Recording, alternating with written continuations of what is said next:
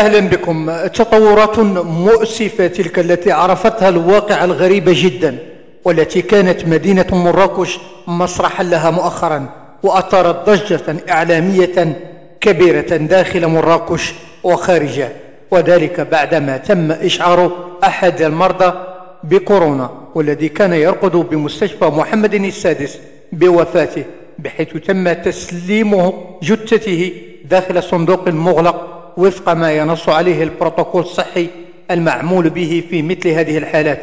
بل إن أهل الفقيد قاموا بكل الإجراءات الإدارية ودفنوا بالفعل الجثمان كما شرع أهل الفقيد في تلقي العزاء من الجيران والمعارف قبل أن يتفاجأ الجميع بخبر نزل عليهم كالصاعقة.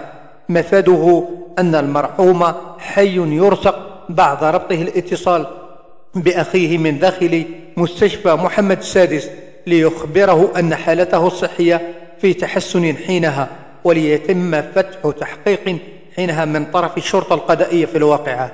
آخر الأخبار حسب موقع أخبار أخبارنا تفيد أن المعني بالأمر والذي كان قيد حياته يشتغل إماما لمسجد بحي سيدي يوسف بن علي قد وافته المنية صباح يوم أحد 15 غشت 2021 إنا لله وإنا إليه راجعون.